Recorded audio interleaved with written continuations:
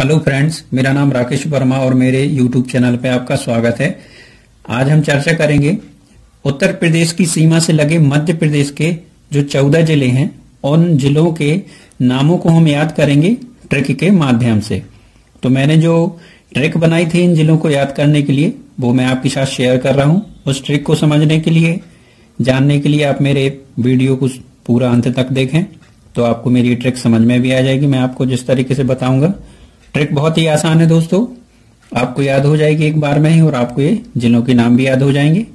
दोस्तों, इससे पहले भी मैं इसकी एक ट्रिक बना चुका हूँ, उत्तर प्रदेश सीमा से लगे।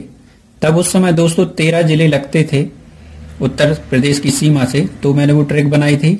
लेकिन अब मध्य प्रदेश का जब से निवाड़ी नया जिला बना है, एक अक्टूबर 2018 को, तब से उत्तर प्रदेश की सीमा से चौदह ज़िले लगने लगे हैं। इसलिए मैंने फिर से नया वीडियो बनाया है, जिसमें उत्तर प्रदेश की सीमा से जो चौदह ज़िले लग रहे हैं, उसको हम ट्रिक के माध्यम से याद करेंगे। तो सबसे पहले देखते हैं, उत्तर प्रदेश की सीमा से लगे वो चौदह ज़िले। वो इस प्रकार हैं, देखें, मुरैना, सिंगरौली, निवाड़ी, सीधी, सागर, रीवा, अशोकनगर, टीकमगढ़, पन्ना, शिवपुरी, भिंड, छतरपुर, सतना और दतिया। ये जो चौदवा जो इसमें जिला जुड़ गया है सीमा से, तेरह थे पहले चौदह ये नेवाड़ी।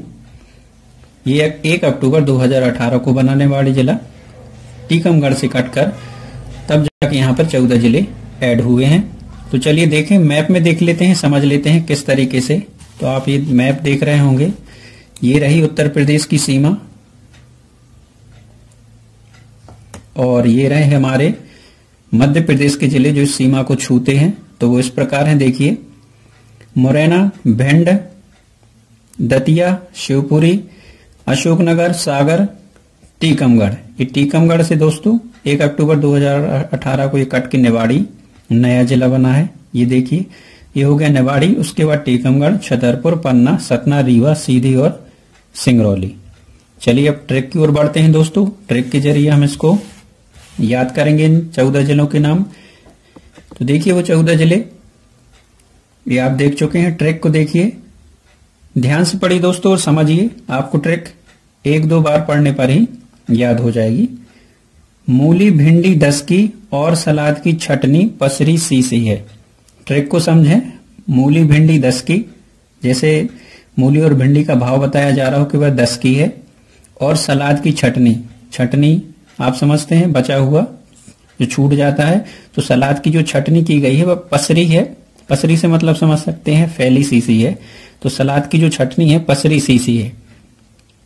भूल, मूली भिंडी, दस की और सलाद की छटनी, पसरी सीसी है। अब देखिए, हम इनसे जिलों के नाम को किस तरीके से याद करते हैं। आपको ट्रिक आदि तो याद हो ही गई होगी, और एक दो बार पढ़ेंगे, याद हो जाएगी। इसको बांट के याद कर लें। मूली भिंडी दस की। आप इतना याद कर लीजिए इसमें की, और यहाँ पर ही सेंटेंस को जोड़ने के लिए है, और है इनको आपको साइलेंट ना करना इग्नोर करना है। की की, और इसको है को। तो मूली भिंडी दस की याद हो जाएगा आपको, और सलाद की छटनी भी याद हो जाएगा, और पसरी सीसी है, ये भी याद हो जाएगा।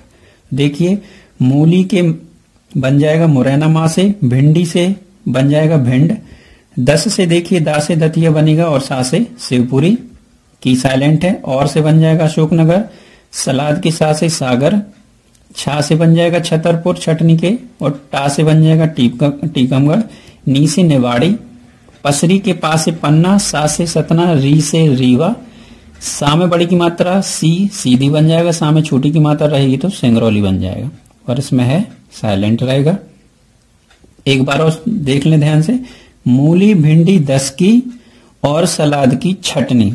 मूली, भिंडी दस की और सलाद की छटनी पसरी सीसी है। मूली से मुरैना, भिंडी से भिंड दस के दस, दतिया सा से शिवपुरी, और से अशोकनगर, सलाद के शाह से सागर छटनी के छा से छतरपुर टा से टीकमगढ़ नी से निवाड़ी, पसरी से पा से पन्ना सा से सतना री से रीवा, और सीसी से सीधी और सिंगरौली। तो आशा करता हूँ दोस्तों, आपको ये ट्रिक भी आपको पसंद आई होगी। अगर ये ट्रिक अच्छी लगी हो तो मेरे वीडियो को लाइक करें, अपने दोस्तों के साथ शेयर भी करें, और मेरे चैनल को सब्सक्राइब करना ना भूलें। मैं आपको अपनी ऐसे ही और ट्रिक्स शेयर करता रहूँगा। Thank you